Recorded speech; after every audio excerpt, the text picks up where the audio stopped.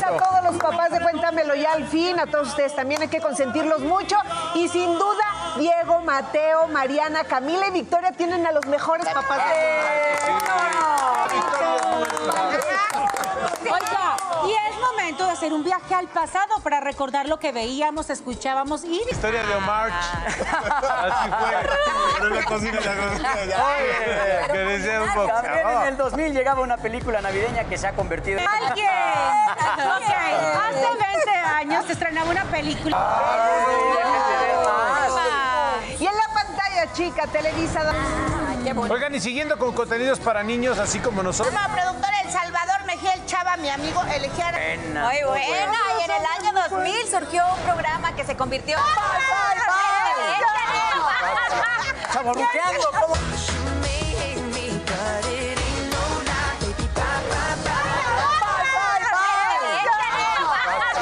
Chavorruqueando, ¿cómo no? El grupo decía de comenzar. Para ellas fueron pasión y ritmo, campeones mundiales de Invito a sentarse, muchachada. Vean nada más el... Mejor que la selección, seguro. Ya escucharon al regalote que les tenemos este sabadito. Estamos... Gracias, José Ángel. Y ahora sí, una receta para consentir en Eso su mismo iba a decir. Felicidades a todos los papás y a disfrutar y a festejar como se merecen con un aguachile de camarón con chiltepín y todos los papás van a disfrutar de principio a fin esta preparada.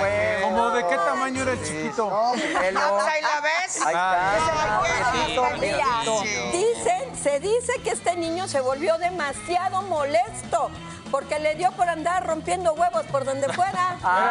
El chico molesto. El chico. Oiga, y el papá de este niño le enseñó muy bien a lavar los... Oiga, y el papá de este niño le enseñó muy bien a lavar los... Es así, una lavadita ahí hasta de. Bueno, no, les. Oigan, no cabe duda de que un labial. Oigan, y no podemos dejar fuera la inocencia. ¿Qué ha pasado, cabrón? No, no, no, Yo era el autor más bien, pero. Oigan, hay papás que son bastante bromistas, como este. Cerramos esta lista para que no se enojen las señoras con una gran lección. Y es que a casi todos los